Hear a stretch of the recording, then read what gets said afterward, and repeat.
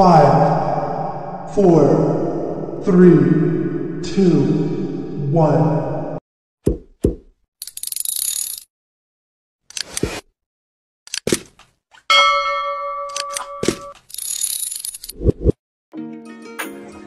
How to make beautiful and new trending Happy Dependence Day photo editing in PicsArt Photo Editor app.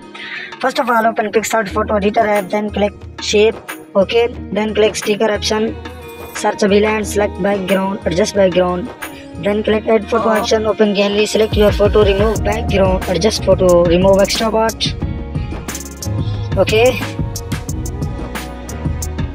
Then again click sticker option, search another happy dependence sticker, then single sticker, then click dual light, open blending option, select light, video is ready, like and subscribe, see you the next video, thanks for watching, okay bye.